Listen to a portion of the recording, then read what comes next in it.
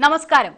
വരുന്ന പൊതു തെരഞ്ഞെടുപ്പ് ഫലത്തിന്റെ സൂചനയാകും എന്ന് രാഷ്ട്രീയ പാർട്ടികളും രാഷ്ട്രീയ നിരീക്ഷകരും ഒരുപോലെ പ്രതീക്ഷിക്കുന്ന അഞ്ച് സംസ്ഥാനങ്ങളിലെ തെരഞ്ഞെടുപ്പിന്റെ പ്രചരണം പുരോഗമിക്കുകയാണ്. തെരഞ്ഞെടുപ്പ് വിശേഷങ്ങളും വാർത്തകളുമായി ഏഷ്യാനെറ്റ് ന്യൂസ് ദില്ലിയിൽ നിന്നും പ്രത്യേക തെരഞ്ഞെടുപ്പ് ബുള്ളറ്റിൻ ഇന്നു മുതൽ തുടങ്ങുകയാണ്. പഞ്ചഗുസ്തി ജനവിധി രണ്ടായിരത്തി പതിമൂന്ന്. ആദ്യം തെരഞ്ഞെടുപ്പ് രംഗത്തു നിന്നുള്ള പ്രധാന വാർത്തകൾ.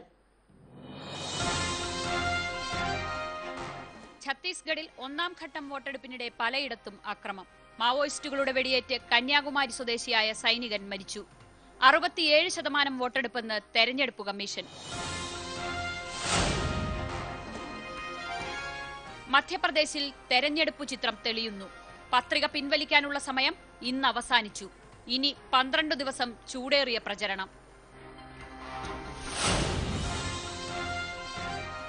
മാരത്തൺ ചർച്ചകൾക്കൊടുവിൽ രാജസ്ഥാനിൽ ബി ജെ പിയും കോൺഗ്രസും സ്ഥാനാർത്ഥി നിർണയം പൂർത്തിയാക്കി. പത്രിക സമർപ്പിക്കാനുള്ള അവസാന ദിവസം നാളെ. പ്രഖ്യാപിച്ച സ്ഥാനാർത്ഥികളെ പിൻവലിക്കാൻ ആവശ്യപ്പെട്ട് ബി ജെ പിയിൽ പ്രതിഷേധം.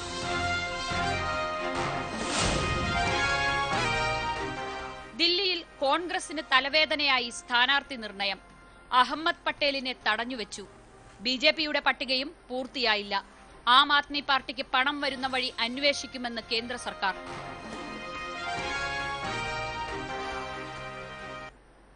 വാർത്തകൾ വിശദമായി കാണാം. ഛത്തീസ്ഗഡിൽ ആദ്യഘട്ട വോട്ടെടുപ്പിൽ അറുപത്തിയേഴ് ശതമാനം വോട്ട് രേഖപ്പെടുത്തി. മാവോയിസ്റ്റ് ഭീഷണിക്ക് നടുവിലാണ് ആദ്യഘട്ടം വോട്ടെടുപ്പ് നടന്നത്. ദന്തേവാദയിൽ ഒരു പോളിംഗ് ബൂത്തിന് നേരെ ഉണ്ടായ മാവോയിസ്റ്റ് ആക്രമണത്തിൽ കന്യാകുമാരി സ്വദേശിയായ സൈനികൻ വെടിയേറ്റു മരിച്ചു. രാവിലെ ഏഴര മണിക്ക് കാങ്കേർ മേഖലയിലുണ്ടായ മാവോയിസ്റ്റ് ആക്രമണത്തിന്റെ ഭീതിയിലായിരുന്നു ദണ്ഡകാരണിയിൽ വോട്ടെടുപ്പ് തുടങ്ങിയത്. ആദ്യ മണിക്കൂറിൽ പോളിംഗ് ബൂത്തുകളിൽ കണ്ട തിരക്ക് ശുഭസൂചകമായിരുന്നുവെങ്കിലും പിന്നീട് പോളിംഗ് മന്ദഗതിയിലായി. അവസാന മണിക്കൂറിലാണ് പോളിംഗ് ബൂത്തുകൾ വീണ്ടും സജീവമായത്. മാവോയിസ്റ്റ് ശക്തി കേന്ദ്രത്തിലെ പന്ത്രണ്ട് മണ്ഡലങ്ങളിൽ മൂന്ന് മണിവരെയായിരുന്നു വോട്ടെടുപ്പ്. വോട്ടെടുപ്പ് ബഹിഷ്കരിക്കാനുള്ള മാവോയിസ്റ്റ് ആഹ്വാനം ഉണ്ടായിരുന്നുവെങ്കിലും ചില മണ്ഡലങ്ങളിലൊഴികെ മറ്റെല്ലായിടത്തും മോശമല്ലാത്ത പോളിംഗ് രേഖപ്പെടുത്തി. ബി ജെ പി നേതാവ് കേദാർ കശ്യപ് മത്സരിച്ച നാരായൺപൂർ മണ്ഡലത്തിലാണ് ഏറ്റവും കുറവ് വോട്ട് രേഖപ്പെടുത്തിയത്. മുപ്പത്തിരണ്ട് ശതമാനം വോട്ട്. സി പി ഐ സ്ഥാനാർത്ഥി മനീഷ് കുഞ്ച മത്സരിച്ച കൊണ്ട മണ്ഡലത്തിൽ നാൽപ്പത് ശതമാനം വോട്ട് മാത്രമേ പോൾ ചെയ്തുള്ളൂ. സുഗ്മ ബീജാപൂർ ജില്ലകളിലെ നാൽപ്പത്തിരണ്ട് പോളിംഗ് ബൂത്തുകളിൽ ഒരാൾ പോലും വോട്ട് ചെയ്തില്ല. രണ്ടിടത്ത് വോട്ടെടുപ്പ് മാറ്റിവെച്ചു. മുഖ്യമന്ത്രി രമൺ സിംഗ് മത്സരിച്ച രാജ്നന്ദ്ഗാവ് മണ്ഡലത്തിലും രാജ്നന്ദ്ഗാവ് ജില്ലയിലെ മറ്റ് അഞ്ച് മണ്ഡലങ്ങളിലും കനത്ത പോളിംഗ് രേഖപ്പെടുത്തി. यहाँ भी 85 परसेंट तक पोलिंग जाता है इस बार भी उसके आसपास पोलिंग जाएगा बस्तर में इस बार मतों की प्रतिशत में वृद्धि देखी जा रही है और एक सकारात्मक संकेत വോട്ടെടുപ്പ് പൂർത്തിയായതിന് തൊട്ടുപിറകെ ദണ്ഡേവാഡിയിലെ നൈനാം മേഖലയിലുള്ള പോളിംഗ് ബൂത്തിന് നേരെയുണ്ടായ മാവോയിസ്റ്റ് ആക്രമണത്തിലാണ് കന്യാകുമാരി സ്വദേശി C R P F jawan B C Joseph കൊല്ലപ്പെട്ടത് നിരവധി പേർക്ക് പരിക്കേറ്റു തെരഞ്ഞെടുപ്പിനെ എതിർത്തുകൊണ്ട് ശക്തമായ ആക്രമണമാണ് ബസ്തർ മേഖലയിൽ മാവോയിസ്റ്റുകൾ നടത്തുന്നത് രാഷ്ട്രീയ പാർട്ടികൾ സ്ഥാപിച്ച ബോർഡുകളൊക്കെ വെടിവെച്ച് തകർത്ത നിലയിൽ പലയിടങ്ങളിലും കാണാം. ദണ്ഡേവാഡയിൽ നിന്നും cameraman മധുമേനോനൊപ്പം P R Sunil Asianet news. മാവോയിസ്റ്റുകളുടെ ഭീഷണിക്കിടയിലും ഛത്തീസ്ഗഡിലെ വോട്ടെടുപ്പിൽ പോളിംഗ് ശതമാനം കൂടിയത് പ്രതീക്ഷയോടെയാണ് രാഷ്ട്രീയ പാർട്ടികൾ കാണുന്നത്.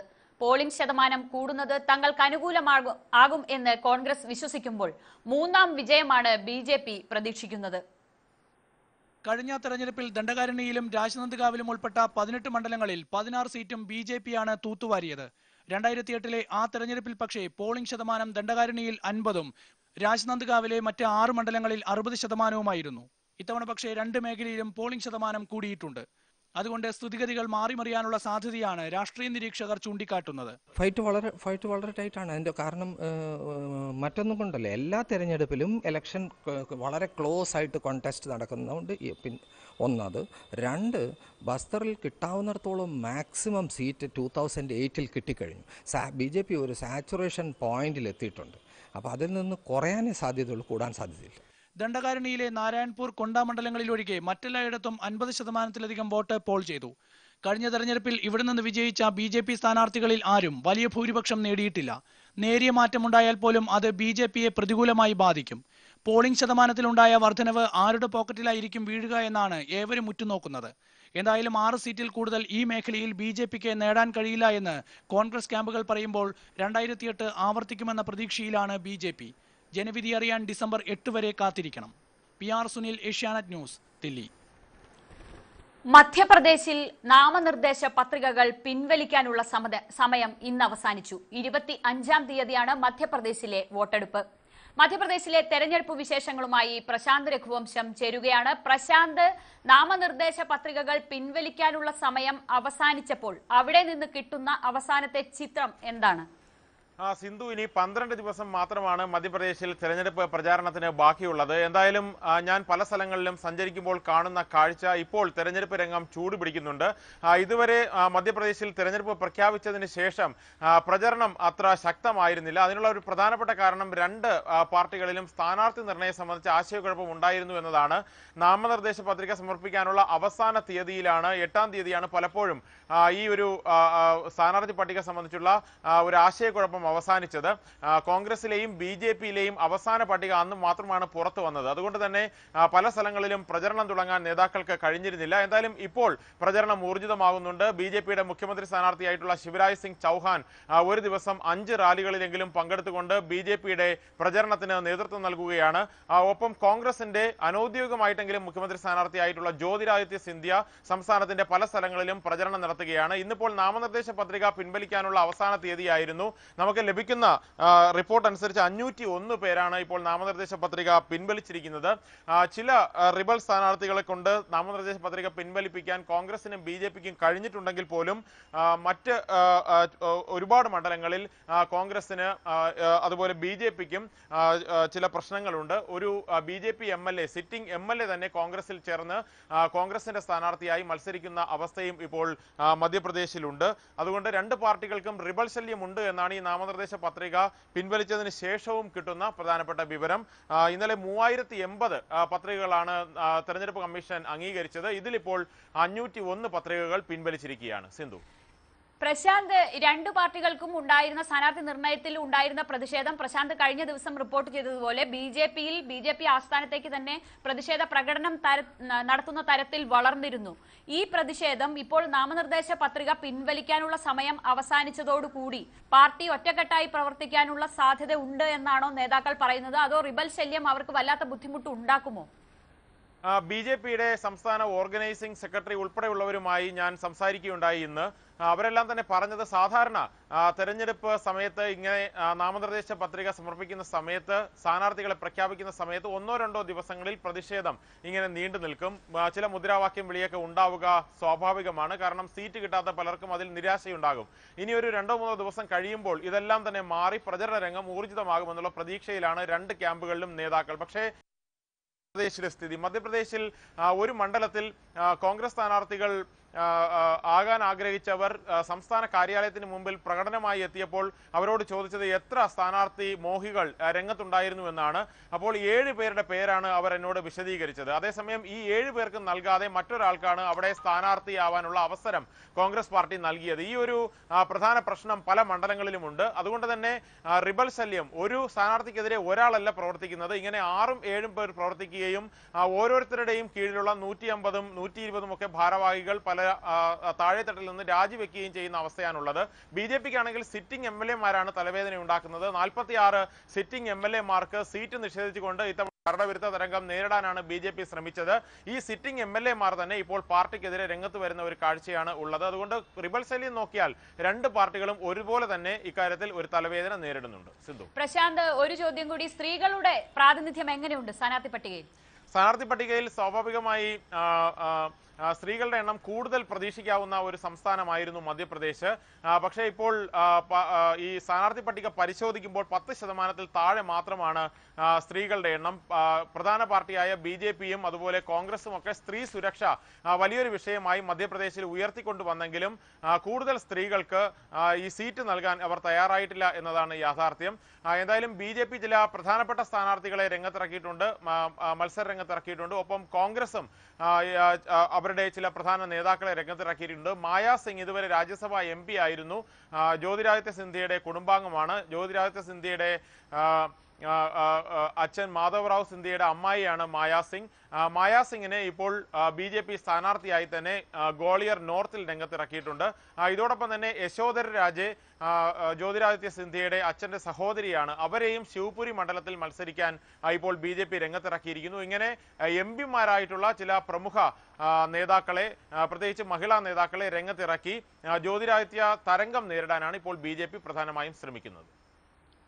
ശരി പ്രശാന്ത് ഇനി രാജസ്ഥാനിലെ തെരഞ്ഞെടുപ്പ് വിശേഷങ്ങളിലേക്ക് നീണ്ട ചർച്ചകൾക്കൊടുവിൽ ബി ജെ പിയും കോൺഗ്രസും രാജസ്ഥാൻ നിയമസഭാ തെരഞ്ഞെടുപ്പിനുള്ള സ്ഥാനാർത്ഥി നിർണയം പൂർത്തിയാക്കി. നാളെയാണ് പത്രിക സമർപ്പിക്കാനുള്ള അവസാന തീയതി. രണ്ടു പാർട്ടികളിലും സ്ഥാനാർത്ഥി നിർണയത്തെ ചൊല്ലി അസ്വസ്ഥതയുണ്ട്. അസ്വസ്ഥതകൾ കൂടുതൽ ബി ജെ പിയിലാണ്. ഒരാഴ്ചയിലേറെയായി ദില്ലിയിൽ തുടരുന്ന മാരത്തൺ ചർച്ചകൾക്കൊടുവിലാണ് കോൺഗ്രസും ബി ജെ പിയും സ്ഥാനാർത്ഥി നിർണയം തീർത്തത്. സ്ഥാനാർത്ഥി നിർണയത്തിൽ കനത്ത പ്രതിഷേധം നേരിടുകയാണ് രണ്ടു പാർട്ടികളും. സ്ഥാനാർത്ഥികളെ തീരുമാനിക്കാൻ വൈകിയതാണ് കോൺഗ്രസിന് ക്ഷീണമായതെങ്കിൽ തീരുമാനിച്ച സ്ഥാനാർത്ഥികളെ പിൻവലിക്കണമെന്ന ആവശ്യമാണ് ബി ജെ പിക്ക് കീറാമുട്ടിയായത്. ജയ്പൂരിലെ പാർട്ടി ആസ്ഥാനത്ത് പ്രതിഷേധവുമായി ദിവസേന പ്രവർത്തകരെത്തി ബഹളം വയ്ക്കുകയാണ്.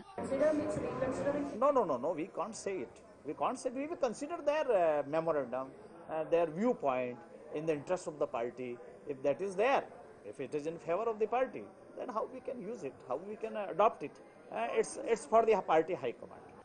ആരോപണ വിധേയരെയും മന്ത്രിമാരുടെയും മറ്റും ബന്ധുക്കളെയും സ്ഥാനാർത്ഥികളാക്കുന്നതിൽ നിന്ന് ഇരു പാർട്ടികൾക്കും മാറി നിൽക്കാനായിട്ടില്ല ബൻവാരി ദേവി കൊലക്കേസിൽ ഉൾപ്പെട്ട മുൻ മന്ത്രി മഹിബ മദേണയുടെ ഭാര്യ ലീല മദേണയ്ക്കും കോൺഗ്രസ് ടിക്കറ്റ് നൽകി ദാരാസിംഗ് കൊലക്കേസിൽ കുറ്റപത്രത്തിൽ ഉൾപ്പെട്ട രാജേന്ദ്ര രാത്തോറിന് ബി ജെ പി ടിക്കറ്റ് നൽകിയിട്ടുണ്ട് സൊറാബുദ്ദീൻ ഷെയ്ഖ് ഏറ്റുമുട്ടൽ കേസിൽ ഉൾപ്പെട്ട ഗുലാബ് ചന്ദ് കട്ടാരിയെയും ബി ജെ പി സ്ഥാനാർത്ഥിയാണ് ബി ജെ പി പട്ടികയിൽ ഇരുപത് സ്ത്രീകളുണ്ട് കോൺഗ്രസ് നാലു ഘട്ടങ്ങളായാണ് സ്ഥാനാർത്ഥി നിർണയം പൂർത്തിയാക്കിയത് ഒന്നിച്ച് പട്ടിക പ്രഖ്യാപിച്ചാൽ ഉണ്ടായേക്കാവുന്ന കൂട്ട എതിർപ്പ് മറികടക്കാനായിരുന്നു ഈ തന്ത്രമെന്ന് പാർട്ടി നേതാക്കൾ പറയുന്നു कांग्रेस सरकार ने पिछले पाँच साल के अंदर सुशासन गुड गवर्नेंस का जो नारा दिया था वो हमने पूरा किया है कांग्रेस मैनिफेस्टो लेकर 2008 में पब्लिक के बीच में आई थी और उस, उस अकॉर्डिंग उस मैनिफेस्टो को हमने पूरा लागू किया है പത്രിക പിൻവലിക്കുന്നതിനുള്ള സമയം കഴിയുന്നതോടെ എതിർപ്പുകൾ ഇല്ലാതാകുമെന്നും ഒറ്റക്കെട്ടായി പ്രചരണ രംഗത്ത് നേതാക്കളും പ്രവർത്തകരും എത്തും എന്നുമാണ് രണ്ടു പാർട്ടികളുടെയും പ്രതീക്ഷ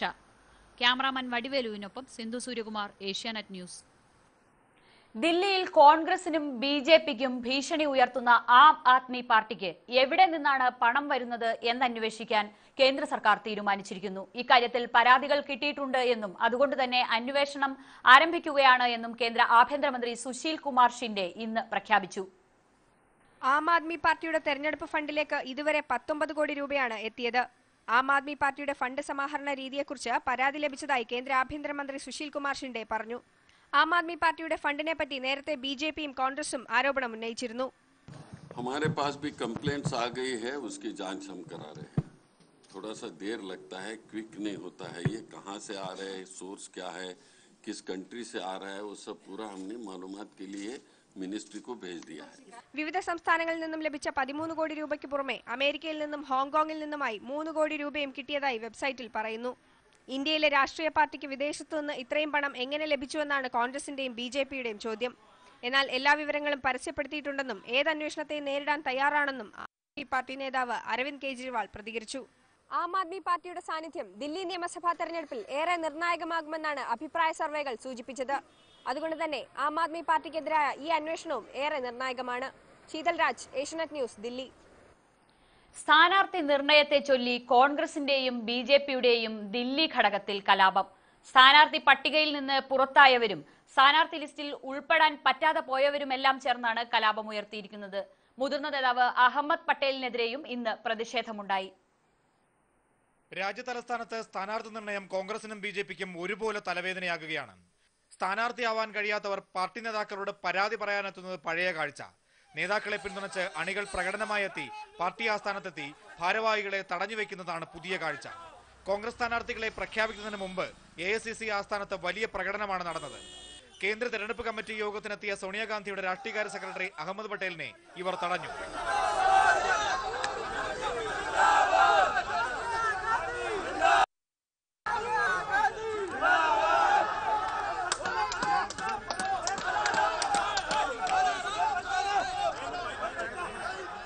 ബി ജെ പിയിൽ അൻപത്തിയെട്ട് സീറ്റുകളുടെ സ്ഥാനാർത്ഥി പട്ടിക പുറത്തു വന്നപ്പോൾ പ്രക്ഷോഭവുമായി സീറ്റ് കിട്ടാത്തവരും ഇവരെ പിന്തുണയ്ക്കുന്നവരും സംസ്ഥാന അധ്യക്ഷൻ വിജയ് ഗോയലിനെയും മുഖ്യമന്ത്രി സ്ഥാനാർത്ഥി ഹർഷവർദ്ധനെയും പാർട്ടി ആസ്ഥാനത്തെത്തി തടഞ്ഞുവെച്ചു. പ്രക്ഷോഭങ്ങൾ സ്വാഭാവികമാണ് എന്നാണ് ബി ജെ പി സംസ്ഥാന പ്രസിഡന്റ് വിജയ് ഗോയൽ പ്രതികരിച്ചത്. സ്ഥാനാർത്ഥി മോഹികളും സ്ഥാനാർത്ഥികളാകാൻ കഴിയാത്തവരും അവരെ പിന്തുണയ്ക്കുന്നവരും പാർട്ടി ആസ്ഥാനങ്ങളിലേക്ക് നടത്തുന്ന പ്രകടനങ്ങൾ ഓരോ ദിവസവും സജീവമാകുകയാണ്. ബി കോൺഗ്രസിനും ദില്ലിയിൽ ഇത് വലിയ തലവേദനയാണ് സൃഷ്ടിക്കുന്നത്. S Ajith Kumar Asianet news